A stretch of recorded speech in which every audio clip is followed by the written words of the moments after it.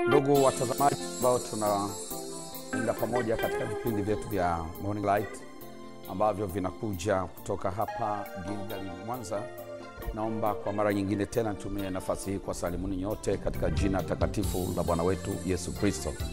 Naomba nipende kusema asante kwa Mungu aliyetujalia neema tena ukiona siku nyingine ambayo ni siku njema, na tuna matumaini katika hiyo, kama maandiko yanenavyo ya kwamba e, tufurahi na kushangilia katika siku aliyoifanya, lakini pia anasema fadhili zake ni mpya kila siku asubuhi, na kwa hiyo tunakusudia na tunatarajia kukutana na fadhili mpya za kimungu juu ya maisha yetu katika siku njema hii ambayo Mungu ameifanya.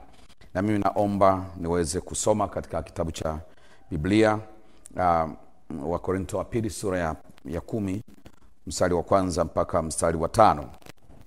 Maandiko yanasema, basi mimi Paulo mwenyewe nawasihi kwa upore na utaratibu wa Kristo, mimi niliye mnyenyekevu, nikiwa pamoja bali nisipokuwepo mwenye ujasiri kwenu. Naam, naomba kwamba nikiwapo nisiwe na ujasiri kwa uthabiti ambao na hesabu kuwa nao juu ya wale wanaodhania kuwa sisi tunaenenda kwa jinsi ya mwili. Maana ingawa tunaenenda katika mwili, hatufanyi vita kwa jinsi ya mwili. Maana silaha za vita vyetu si za mwili, bali zina uwezo katika Mungu hata kuangusha ngome, tukiangusha mawazo na kila kitu kilichoinuka kijiinuacho juu ya elimu ya Mungu, na tukiteka nyara kila fikra ipate kumtii Kristo. Jina la Kristo Yesu libarikiwe. Nachotaka kusema ndugu watazamaji, nataka kusema kwamba linda usalama wa fikira zako, linda usalama wa fikira zako. Haleluya!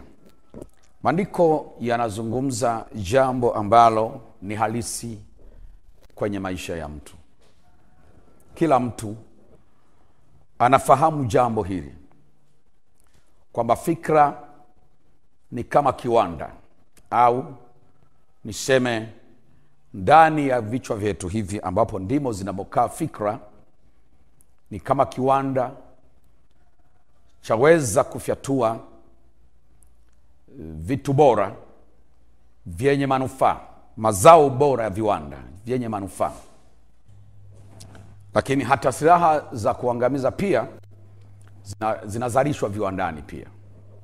Sumu ambazo nazo huangamiza zinazalishwa viwandani. Hewa au gesi zinazochafua mazingira na vitu mbalimbali vinavyochafua mazingira navyo pia huzalishwa viwandani. Kwa sababu hiyo, nataka kusema kwamba kuna vitu vingi sana vinaendelea kwenye fikra zetu kutegemea na kumerishwa nini nini, fikra zetu zimerishwa nini, fikra zetu zimepokea, na zilipopokea zikaanza kuchakata, nini kimezalishwa, kwa sababu kulishwa ni kitu kingine, lakini mara nyingi kinachotokea ni matokeo ya mchakato ulioendelea huko ndani. Mchakato au uchakataji unapoendelea huko ndani, ndipo tunapoona product, tunapoona kilichozalishwa. Sasa Biblia anazungumza habari ya mawazo na fikra, anasema ingawa tunaenenda katika mwili, lakini hatufanyi vita kwa jinsi ya mwili bali silaha za vita vyetu zina uwezo katika Mungu hata kuangusha ngome. Tukiangusha mawazo na kila kitu chochote kinachojiinua juu ya elimu ya Mungu, tukiteka nyara kila fikra ipate kumtii Kristo. Nisikiliza vizuri, wote tunafahamu dhambi ilivyoingia duniani. Anguko lipompata mwanadamu, anguko alipokuja sio, sio nyoka aliingia ubongoni mwa mwanadamu, nyoka alifidi ubongo wa mwanadamu kitu. Nyoka alilisha ubongo alilisha fikra maneno fulani mawazo fulani dhana fulani. Nyoka alilisha. Ubongo ukalishwa fikra au dhana au wazo jipya. Sio nyoka aliingia ubongoni sio nyoka aliingia kwenye fikra za hawa. Nyoka alizungumza kaenda zake. Lakini akaacha amehakikisha ubongo wa hawa ameufid ameulisha. Kile alichoulisha kikaanza kuchakatwa ndani ya ubongo ili kitowe mazao ili kizae matokeo. Kizae kusudio lilokusudiwa maandiko yanatuambia alimwambia matunda haya mliyokatazwa kula yanafaa sana maana yana uwezo wa kuwafanya mkawa kama mungu mkajua mema na mabaya. Pomaliza kusema hayo aliondoka zake. Hawa mke wa adamu ubongo ukaanza kuchakatwa. Ndio maana nimesema katika somo hili linaitwa linda usalama wa fikra. Fikra zikiwa salama zinaweza kuchakata mawazo na, na fikra salama na dhana salama na zikatoa matokeo yenye maendeleo. Matokeo yenye amani. Matokeo yenye baraka. Matokeo yenye kufanikiwa.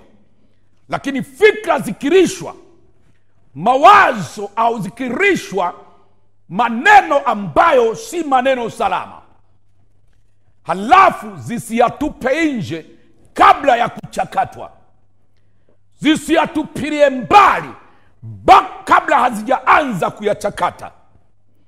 Zikishajipa nafasi ya kuchakata maneno mabaya dhana mbaya dhana potofu zikajipa nafasi ya kuzichakata output yake au matokeo yake hayatakuwa maendeleo yatakuwa kurudi nyuma yatakuwa uharibifu yatakuwa magomvi yatakuwa mauti yatakuwa faraka yatakuwa chuki yatakuwa vitu vingi vya namna hiyo.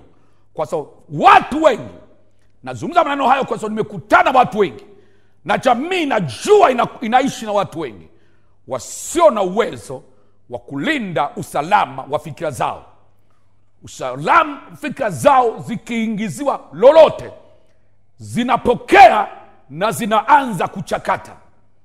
Na mchakato ukishafanyika tu tegemea matokeo tegemea output. Huwezi kuingiza malighafi kiwandani halafu usitoe mazao ya kiwanda. Malighafi yoyote ikishaingizwa kiwandani waendesha kiwanda wakakubali ichakatwe. Itatoa kitu kilichokusudiwa. Kama ni kwa ajili ya sumu itatoa sumu. Kama ni silaha ya maangamizi itatoa silaha ya maangamizi. Lakini kama inaweza kutoa dawa za tiba inaweza kutoa za, dawa za tiba. Kutegemea na nini kiwanda kimerishwa kwa hiyo fikra zetu ziko hivyo. Zikilishwa zinachakata. Tukizipa nafasi ya kuchakata. Lakini tukitupa nje tukasema haya sio mazao tarajiwa ya kiwanda hiki. Tukatupiria mbali. Tutakuwa salama. Na ndio somo nalofundisha asubuhi ya leo. Wengi wenu kazi zenu haziko salama. Si kwazo sababu singekuwa salama. Ni kwa sababu ya mambo yaliyoingizwa vichwani yakachakatwa wengine mlianza biashara kama wabia na wenzenu. Sasa mmefarakana. Ni kwa sababu kuna mambo yaliingia yakachakatwa yakatoa mazao hayo. Wengine ndoa zenu haziko salama. Ni kwa sababu kuna mambo yaliingizwa yalipochakatwa yakatoa hayo matokeo. Wengine huduma zenu haziko salama. Kwa sababu kuna mambo yaliingizwa yalipochakatwa yakatoa jambo hilo. Wengine urafiki wenu hauko salama kwa sababu kuna mambo yalipoingizwa yalichakatwa yakatoa hilo wazo. Wengine mnawaza kujiua kwa sababu kuna mambo yaliingizwa yakachakatwa. Yalipochakatwa yakatoa mawazo hayo. Wengine mmekata tamaa na mmejaa uchungu na chuki kwa sababu kuna mambo yaliingizwa yakachakatwa. Yalipochakatwa yakatoa hilo wazo. Wengine mmekwisha kujikataa na hamjikubali tena kwa sababu kuna mambo yaliingizwa yakachakatwa. Uliposikia ubongo ukalishwa kwamba wewe una sura mbaya ukaanza kuchakata umeshajikataa tayari. Ulipolishwa ubongo wako ukalishwa kwamba wewe ni mweusi mno. Ndio maana watu hawakupendi ukachakata. Ndio maana matokeo yako kama hivyo. Hata namna yako ya uvaaji imetokana mambo uliyasikia ukayachakata ukasema labda nikivaa hivi tasaidia wengine mane, aina ya, ma- ya lugha mnazoongea ni kwa sababu kuna mambo yaliingizwa ukayachakata ukasema labda nikienda kwa mkari nikaongea kwa ukari labda itasaidia ni matokeo ya mambo yaingia ukayachakata. Lakini pengine matokeo yake hayako kama ulivyotarajia. Jina la yesu libarikiwe. Mama yetu hawa akaenda kachakata kaanza kus, kus, kusema tunda hili lafaa kwa chakula. Huo ni mchakato. Nyoka hayupo. Ni mchakato wa kichwani. Ni mchakato wa kwenye fikra. Matunda haya yafaa kwa chakula. Anachakata. Kaendelea kuchakata. Tena unatamanika kwa maarifa. Bado anachakata. Huu unatamanika kwa maarifa. Anachakata nyoka hayuma ameshamaliza shughuli yake. Yeye shughuli yake ilikuwa ni kufidi ameshamaliza kufidi sasa ubongo unachakata fikra zinachakata.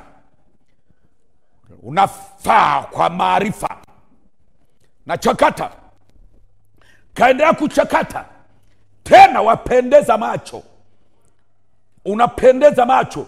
Mchakato unaendelea. Kaendelea kuutazama akasema kwenye fikra zake. Wapendeza macho anachakata. Anachokichakata kitazaa kita, kita kitu. Baada ya mchakato sasa kiwanda kimetoa zao lake. Ni kula. Kaenda kachuma akala. Mchakato kamwambia mbona hata radha ni nzuri? Mbona radha yake tamu? Ngoja nimpe na adamu aonje. Naye akaonja kumbe tamu. Wakala.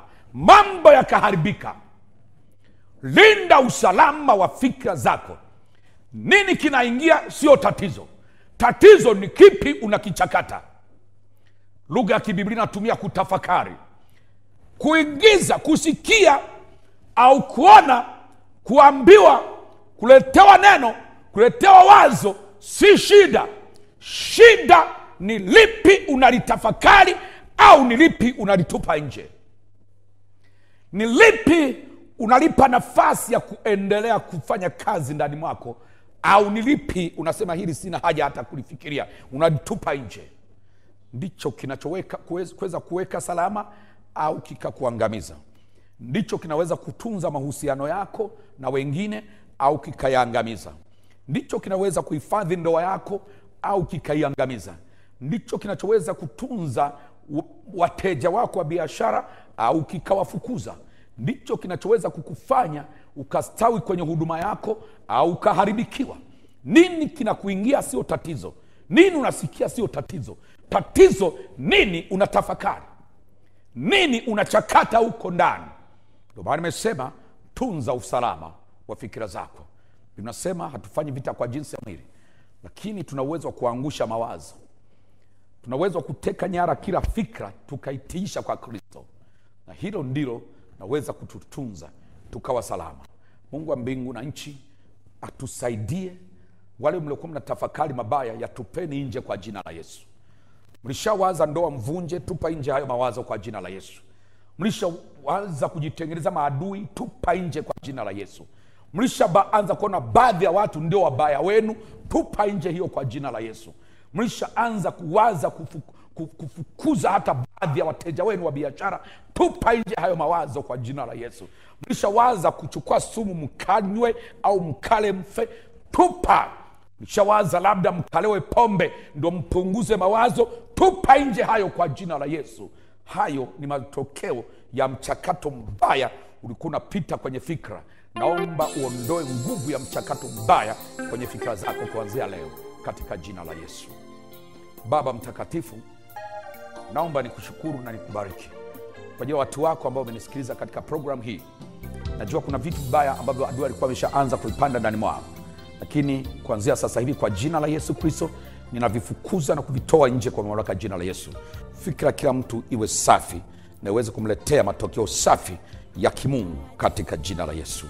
Amen. Amen